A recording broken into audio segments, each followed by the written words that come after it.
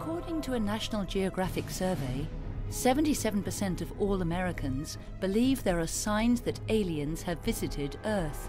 But despite this consensus, our governments have yet to acknowledge what many believe to be the truth behind extraterrestrials. Is disclosure just around the corner, as some believe, or has the UFO phenomenon always been a fabrication of the human mind? If you ask me, do I believe there's life in a universe that is so vast that it's hard for me to comprehend how big it is? My personal answer is yes. There's a whole fleet of them. Look on the ASA. My gosh. They're all going against the wind. The wind's 120 knots from the west. Look at that thing, dude. These sightings are not rare or isolated, they are routine. Military aircrew and commercial pilots, trained observers whose lives depend on accurate identification, are frequently witnessing these phenomena.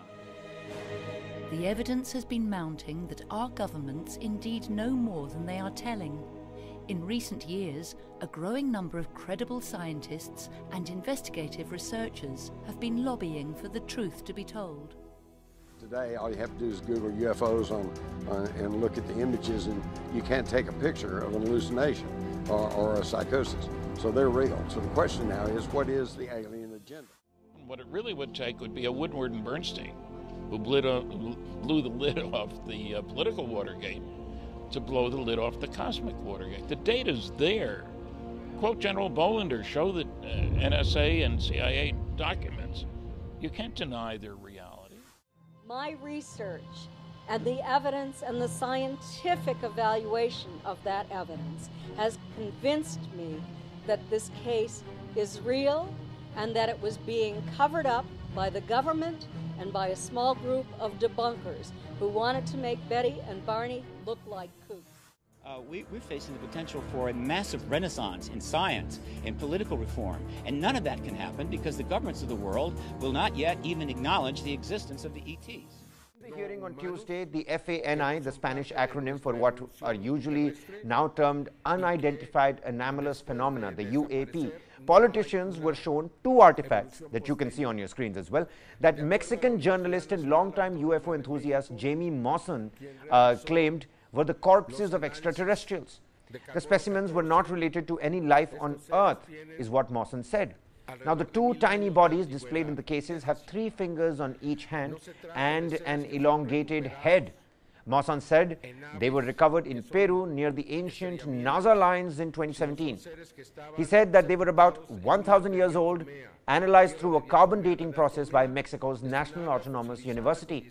Similar such findings in the past have turned out to be the remains of mummified children. Now, Will Maussan said it was the first time such evidence had been presented. The NASA independent study team did not find any evidence that UAP have an extraterrestrial origin. But we don't know what these UAP are. Talagayang kababalaghan, pananaliksik sa kapangyarihan ng isipan, pagpapakita ng mga nilalang, inyong matutunghayan sa Gabi ng Misteryo. Kasama si Rey Sibayan tuwing Sabado, alas 10 ng gabi sa DZRH Radio, DZRH TV at DZRH Online. Gabi ng Misteryo. Mga kamisteryo, napanood ko itong uh, press briefing ng uh, NASA and uh, mismo ang administrator nila si uh, Bill Nelson ay naglabas ng official statement about their uh, findings. So far, parang para sa akin walang may bago ba na sinabi nila na uh, walang evidence to prove na mga uh, UAP unidentified phenomena na kilala, mas kilala as unidentified flying objects ay extraterrestrial in origin. There's a global fascination with UAP. On my travels, one of the first questions I often get is about these sightings. And much of that fascination is due to the unknown nature of it. Think about it. Most UAP sightings result in very limited data. That makes it even more difficult to draw scientific conclusions about the nature of UAP. We, NASA, have taken for the first time concrete action to seriously look into UAP. And this independent study team is exactly that it's independent. They work to develop recommendations about how NASA could better examine them from a scientific perspective. And the top takeaway from the study is that there is a lot more to learn. The NASA independent study team did not find any evidence that UAP have an extraterrestrial origin. But we don't know what these UAP are. So, with that, with the, the conclusion or findings from, or announcement from NASA, so uh, we presume uh, all of these uh, UAPs or unidentified aerial phenomena, which is uh, uh, known as uh, unidentified flying objects, are man-made, not extraterrestrial in origin. Kayo, kayo ang maghumusga uh, tungkol dito. Eh. Sa tanong na kung pwede bang pagkatiwalaan pahayag ni NASA Administrator Bill Nelson tungkol sa mga pag-aaral sa UAP na pag-aaral, pagtutuunan pa nila ng pansin, ang sagot namin sa uf- ufology circle ay hindi. Kasi base sa track record ng NASA sa nakalipas na tatlo, anim na dekada, may mga eyewitness testimony na nagsasabing inalter, pinotoshop yung mga retrato ng sp- mga space pictures, pati na rin mga lunar photos mula do sa uh, sa Houston uh, mission control nila para itago sa publiko ang impormasyon ng pagkakaroon ng mga sentient intelligent life na sa mga loob ng mga lumilipad ng mga UAP and unmanned aerial phenomena at pati na rin sa dati nito pangalan na unidentified flying object. Ngayon, may may at least tatlo kami tatlong eyewitness testimony na makakapagpatunay nito. Una ay si Richard C. Hoagland ng enterprisemission.com.